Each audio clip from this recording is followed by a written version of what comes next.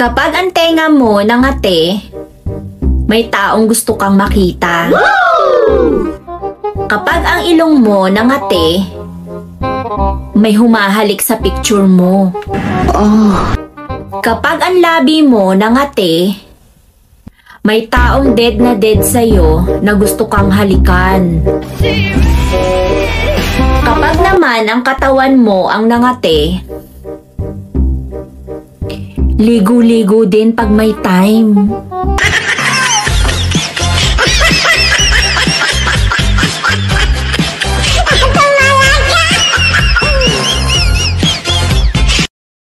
Panis yung kape mo. Pag ako nagpainit sa'yo. Panis din ng monay mo. Pag nasusaw yan sa kape ko.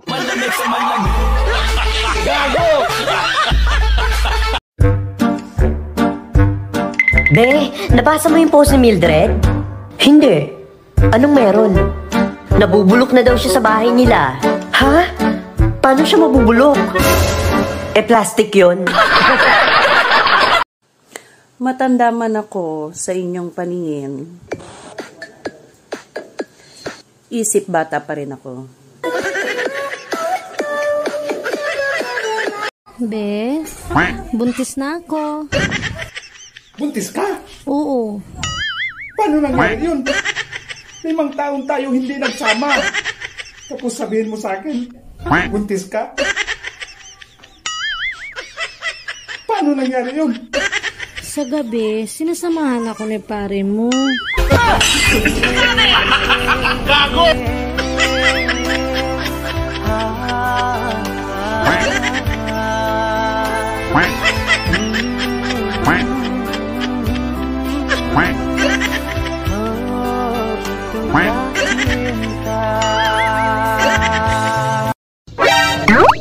Pinasaya ka lang. Mahal mo na. Yung iba nga, pinatirik ang mata. Iniwan pa. Hi, miss. Tapos ano, kukunin mo yung number ko. Tapos magte-text ka sa akin palagi. Tapos mag I love you ka. Tapos pag may tiwala na ako sa'yo, magdadrama ka na. Tapos uutangan mo ko. Pwede ba wag ako?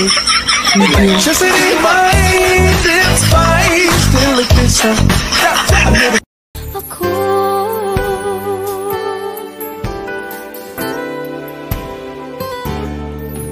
Bakit kahit pa nag-iisa Sa'yo'y umaasa Di nagsasawa na maghintay Basta makita ka.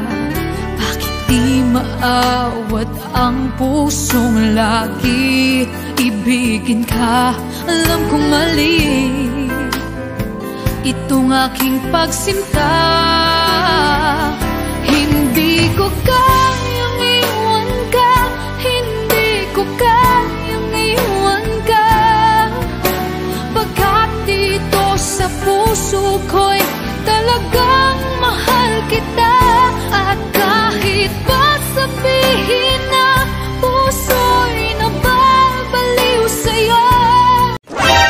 Ate, paano kung ikulong lahat ng gwapo? Ligtas ka, kuya.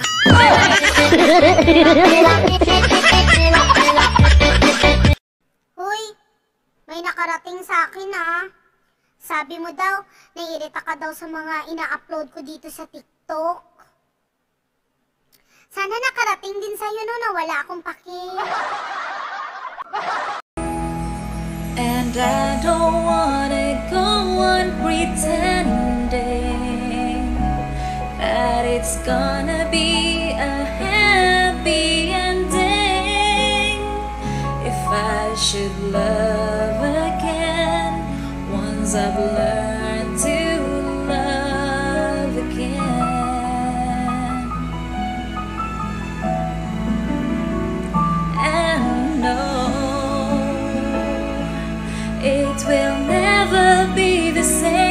without you, baby. This pain inside me's driving me crazy. Cause it's hard to love again.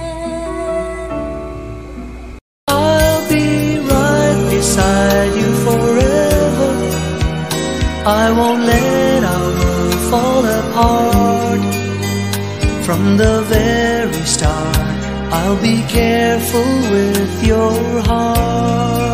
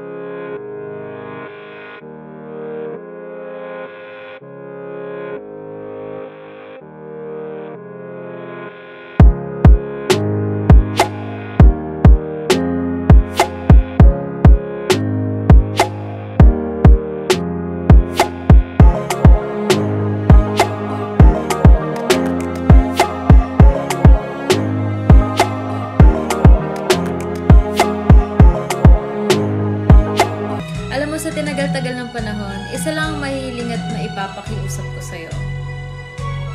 Kung tayo ay matanda na, sana'y di tayo ma